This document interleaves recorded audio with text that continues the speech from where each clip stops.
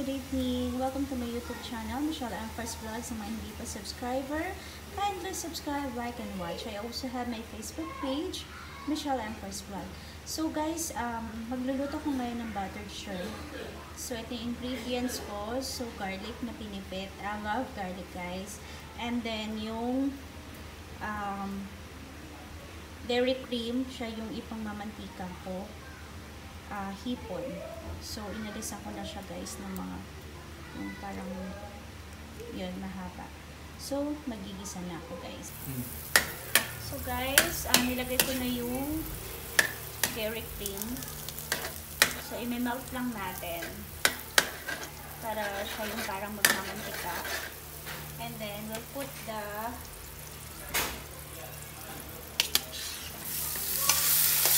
reform yung shrimp. Ayan. Medium heat lang guys yung ano, yung apoy para talagang maluto.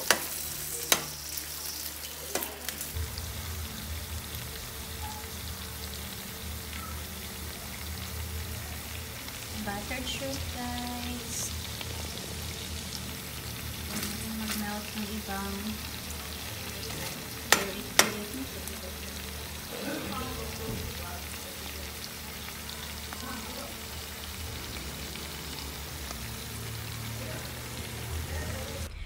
So guys, nag-add ako ng dairy cream para mas maging madami yung sabaw. So, and then nag-add din ako ng small amount ng soy sauce. And yung bawang na yan, kung sa unang uh, video, malalaki siya. So, kinat ko. Sa akin, okay lang pag malaki. Pero request ng pamangkin ko, medyo maliit. Para makain niya din. So, yan. Um, actually, ano na yan, paluto na yan. So guys, ito yung buttered shrimp. Nag-melt na yung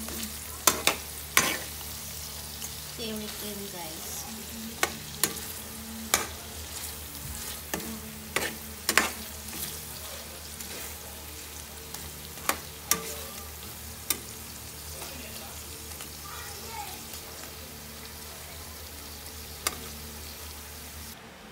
So guys, this is the finished product na buttered shrimp ko. So, hindi siya mantika guys. Uh, dairy cream talaga siya na parang nagmantika. So, yan. Meron siyang ba garlic. Kasi I love garlic. Tsaka parang somehow pang balance. So, niliitan ko siya while niluluto. And then, syempre yung shrimp. Ayan. And then, yung butter na akala mo parang mantika. And then, I put konting toyo, guys. So, ayan. Um, buttered shrimp. So, sarap kumain guys. Na, may, lalo na may garlic. So, iyon lang, guys. Kain tayo.